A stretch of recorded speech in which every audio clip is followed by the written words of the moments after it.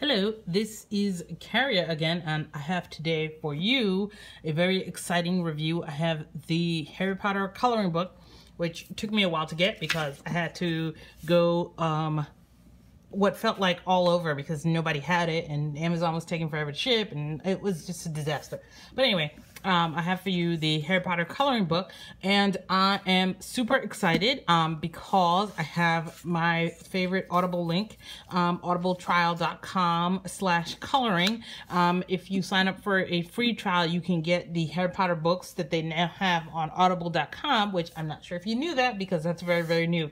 And that is super exciting. And um, when you sign up for a free trial, you get a 30-day free trial and you get a one Audible book for free, which you can get the um, Harry Potter Audible book of your choosing.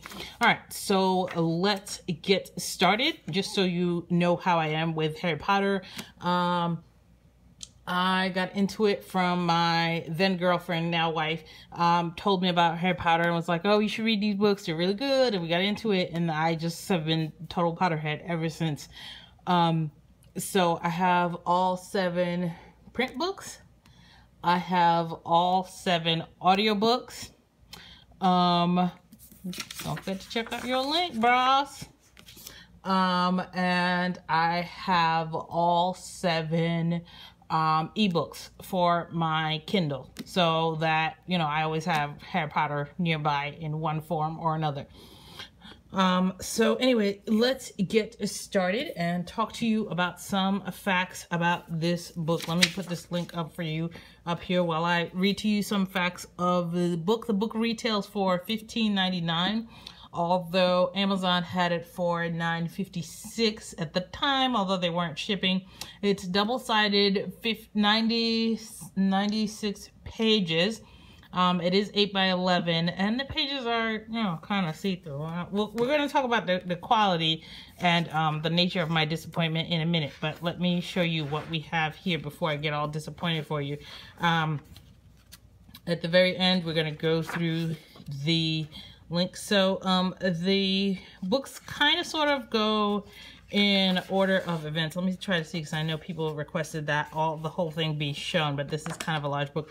The other thing um, that I see in this book um, that you're you're gonna see me sort of complain about is first of all it's double sided, which you know I'm never happy with. Um, the other thing is that um, there's a lot of wallpaper type pages, like pages like this, where it's not, it's just, it looks like a wallpaper. So that's fine. Um, but that's kind of a thing. So you have the very first, so it goes in order, and I think this traces, it feels like this traces like all seven books, um, kind of, sort of. So that was basically, that's all they did for book one. Then this was, you know, book two, again, another wallpaper page. Um, more book two stuff, uh, Dobby, um, this, this section here. Um, I think this is, hold on, is there a page in between? The pages are, you can't really tell, or maybe you can, but the, maybe you can kind of see it up here, but the pages are kind of see-through, which I haven't really seen um, in that many books that are, I don't think I've seen that in that many books that are two-sided. Usually if I see that, the book is single-sided. Um, but anyway, this is more the events. This is, I think, the start of three. By the way, it's got some weird, the, the ordering of the pages is just really bizarre. And a lot of the art feels more like comic book art than coloring book art because like for here, for example, like a lot of the stuff, like the shading is already done for you. And I don't know about you, but for me, the shading is a lot of the fun part. But anyway, the four houses kind of show up in a weird, and like there's no real order to when the four houses show up, like I said. Um, another weird page. I guess this is supposed to be the start of book four. Um, let's see, the egg. But then this part is from book three. But see, this was in was that in book four? Was this in book four? I, I can't remember. Oh, no, because book four had the different, um, this was from when they had to fight the Boggart. At, at least I think that what this is from. Um, this is from four when they had the egg, but then this is from three when they had to fight the Boggart. And you see what I'm saying? Um, and this is definitely from three. So it, it, it's it's it's weird. It, like I said, it's weird. It's it's almost in order, but not quite in order. Um, so that's um, Slytherin. Like I said, the uh, the thingamajigs are the logos for the houses. I don't. They're all in weird places. Another like wallpaper ish type page. Um, that could be from any of the books. This is definitely, uh, I think this is the Grindylows, which were in book four. Um, this might be the the ship from I think it's Durmstrang.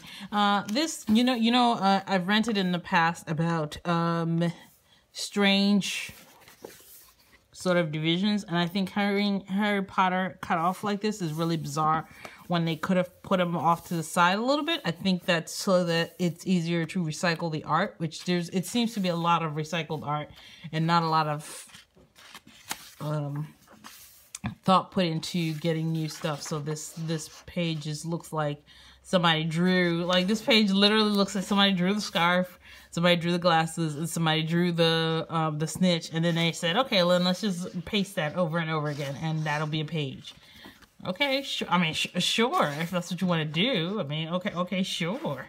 Um, we, we, ah, Weasley's Wizard Wheezies. Um, she's in a strange place. Like, if you're going to have wallpaper pages, like, and then you're going to be single-sided, then why not have the wallpapers pages, like, in between, like, so that, you know, something I'm saying, like, this, I don't know, it, it's weird. It's, it's weird. There's a lot of really good colorable pages in in a row and then a lot of really sort of wallpapery once again this is more wallpapery type stuff um this has more okay so they so they had Gryffindor and Slytherin that we saw earlier on, and then just randomly in the middle, here's um, Ravenclaw and Hufflepuff, just randomly right next to each other. Sure, let's just put stuff in, you know. So so there's it's it's just super bizarre. Okay, so then this I think is all the way up to book seven. So I think that we just skip the books in between? Am I am I overthinking this? Like you'll tell me in the comments if I'm overthinking it, but this feels like book seven. So it feels like we just skipped a whole bunch of stuff. Um but anyway, more wallpaper pages, wallpaper, wallpaper. Uh all right, so this is uh this is a pretty decent page. You know, this is actually um some stuff. Uh once again the the shading is done for you a little bit, but not too bad. More wallpaper. Um, this is the very end of seven. Um, but we still got a bunch of book to go. So we'll see what the rest of it is made up of. Uh, okay. So the dough, okay. So random Sneakoscope at the end. And then there's a bunch of color pages that made me want to throw the book across the room because these are not examples of how it can be colored. These are just concept art from the movies. So this isn't like how you would color it. This is freaking concept art from the movies. It's been recycled. And I know it's concept art from the movies. It's been recycled because in the credits, it tells me this is concept art from the movies that's been recycled. See? It says concept art. This, this, is, this is all like movie concept art that's been recycled. All right, I'm gonna take a deep breath. Okay, okay. So more movie concept art. So again, not necessarily coloring book art or examples of how you would color it. So they're just taking these color pages and showing me movie stills that um show up on the DVD and on the movie and on all this other stuff. Like we already saw this in the movie. Okay, we saw this. So um not how you would color it, but just, you know, recycled. All right, I took my deep breath. All right, so now let's actually see how they color. All right, so I got you here.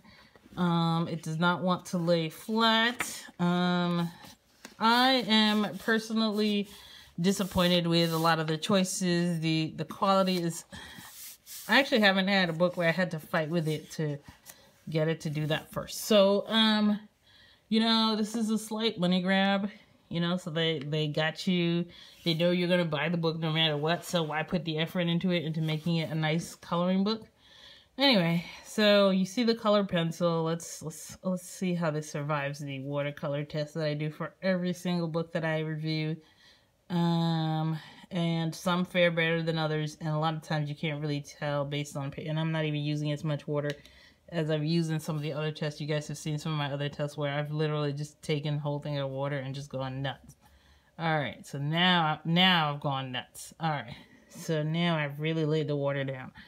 All right, so let's see what it looks like on the other end. Well, these are double-sided.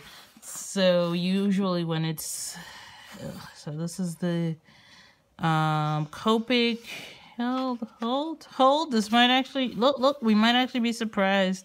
All right, so there's some buckling, but it's actually not too bad. Uh, there's definitely been books where um, it just sort of comes apart. But um, you definitely can't use your Copic, so your alcohol-based markers are out um, as they were going to be anyway. And your um, water-based markers, your Pitt pen right there is, um, I would test them, but there's no testing page um, except for if you use that first page. But again, if there's a problem, then this, this one page is not usable. There's not really a um, plain test page. So they use this page for the copyright information. So there's that. Um, you do get the color pages um, that are used very ineffectively.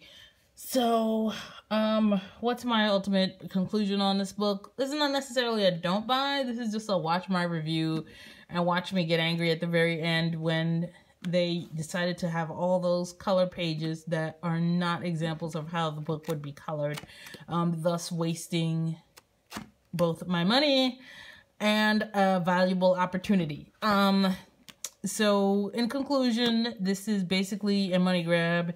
If you are the world's biggest Potterhead, get this. If not, there's lots of other really good coloring books out there.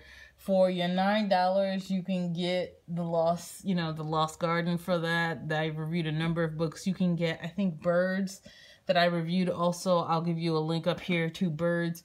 Birds is cheaper. Um, on Amazon.